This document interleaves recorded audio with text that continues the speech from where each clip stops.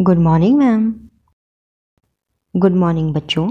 बच्चों, आज हम आपको डॉक्टर अब्दुल कलाम जी के आत्मजीवन के बारे में बताएँगे। डॉक्टर अब्दुल कलाम जी का जन्म तमिलनाडु में रामेश्वरम के तमिल मुस्लिम परिवार में 15 अक्टूबर 1931 को हुआ था।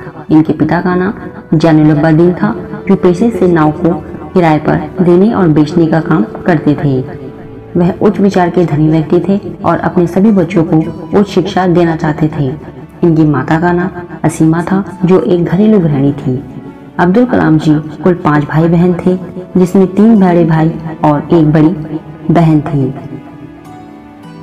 परिवार की मदद करने के लिए डॉक्टर अब्दुल कलाम जी ने बचपन से ही अखबार बेचने का काम शुरू कर दिया था।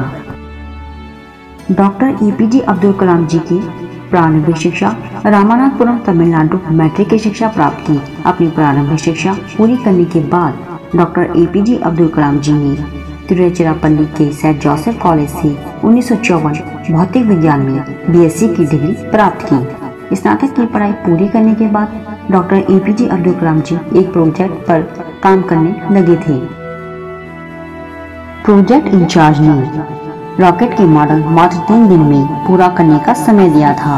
अब्दुल कलाम जी ने मात्र 24 घंटे में अपने लक्ष्य को पूरा किया और रॉकेट का मॉडल तैयार कर दिया। अब्दुल कलाम जी ने स्नातक की पढ़ाई पूरी करने के बाद कलाम जी ने रक्षा अनुसंधान और विकास संगठन में एक वैज्ञानिक के रूप में शामिल हुए। 1970-1980 के दशक में डॉक्टर अब्दुल कलाम जी अपने कार्यों की सफलता के कारण देश के प्रसिद्ध वैज्ञानिक बन गए। डॉक्टर अब्दुल कलाम जी अपने कार्यों की सफलता और अपनी उपलब्धियों के कारण राष्ट्रीय जनतांत्रिक गठबंधन की सरकार ने डॉक्टर एपीजे अब्दुल कलाम जी को सन 2002 को राष्ट्रपति पद के लिए उम्मीदवार बनाया। अब्दुल कलाम जी एक ऐसे राष्ट्रपति हैं जिनको राष्ट्रपति बनने से पहले भारत रत्न का पुरस्कार मिल चुका है।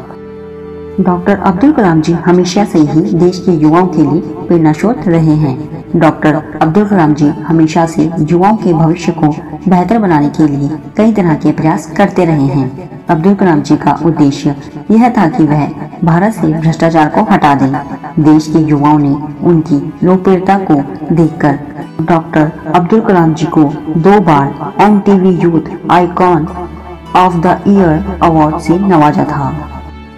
अब्दुल कलाम जी का निधन 27 जुलाई 2015 को डॉक्टर अब्दुल कलाम जी, भारतीय प्रबंधन संस्था शिलोंग में रहने योग्य ग्रह पर अपना विचार व्यक्त कर रहे थे, जब उन्हें कार्डिक अटैक हुआ और वह बेहोश हो गए।